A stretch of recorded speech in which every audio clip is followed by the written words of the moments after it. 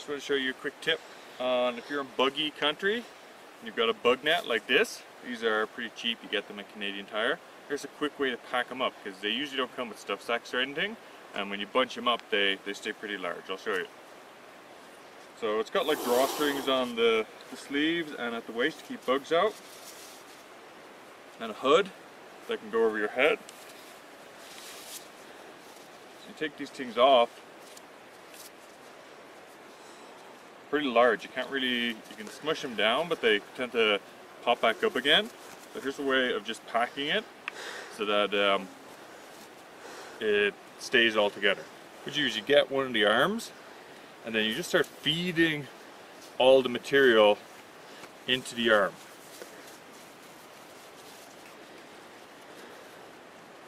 And then when you're down to like a little bit of the last, the second arm, you want to just cinch up the first one and then wrap the other arm around the rest of the, the bug net. Then cinch that up. And there you go. Get your bug net all packed up inside itself. Alrighty.